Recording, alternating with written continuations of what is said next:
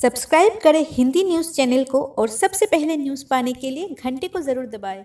ये बिल्कुल फ्री है। महिंद्रा और महिंद्रा अपनी पॉपुलर कार का एक्स और नेक्सटी का एंट वर्जन लॉन्च करने के लिए पूरी तरह से तैयार दिख रही है। लेकिन लॉन्च से पहले भारतीय सड़कों पर उसकी टेस्टिंग की जा रही है। हाल ही में बैंगलोर की सड़कों पर टेस्टिंग के दौरान ड्राइवर्स पार्क ने उसे स्पॉट किया है।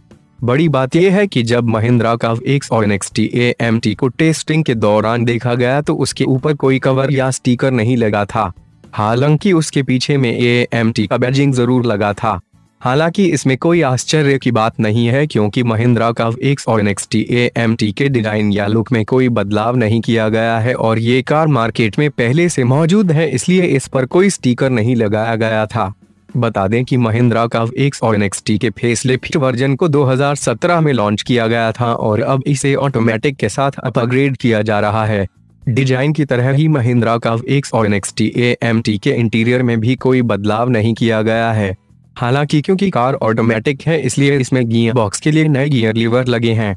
स्पॉट की गई महिंद्रा का एक्स और नेक्सटी ए एम टी में मल्टी स्पोक अलॉय व्हील और रिवर्स पार्किंग सेंसर लगे थे। अनुमान है कि महिंद्रा का एक्स और नेक्सटी ए एम टी के इंजन या अन्य कोई मैकेनिकल बदलाव नहीं किए जाएँगे। अभी ये भी साफ़ नहीं है कि A M T gearbox petrol variant में मिलेगा या डीजल में। महिंद्रा का एक्स और नेक्सटी पेट्रोल वेरिएंट में एक दशमलव लीटर का इंजन लगा है जो कि बयासी बी एच की पावर और 115 न्यूटन मीटर का टॉर्क जेनरेट करता है। इस इंजन को न स्पीड मैनुअल गियरबॉक्स स्टैंडर्ड के तौर पर दिया गया है।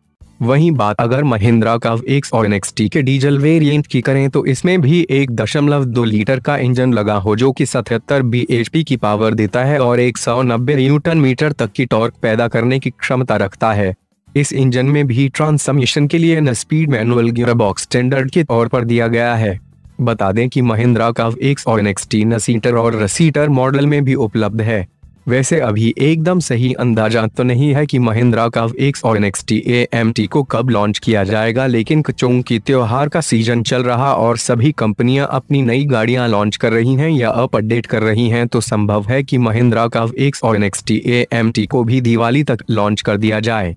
ऑटोमेटिक के कारण महिंद्रा का एक्स और नेक्सटी ए एम टी के कीमतें भी स्टैंडर्ड मॉडल से थोड़ी ज़्यादा हो सकती हैं।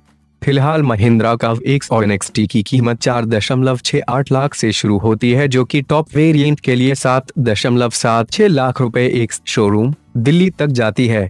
हमें कमेंट करके ज़रूर बताएँ आपकी पसंद की कार कौन सी है, और दोस्तों इस वीडियो को लाइक ज़रूर कर देना। आपका एक लाइक मेरी बहुत हेल्प कर सकता है तो जल्दी से लाइक के काले से बटन को नीला कर दो देना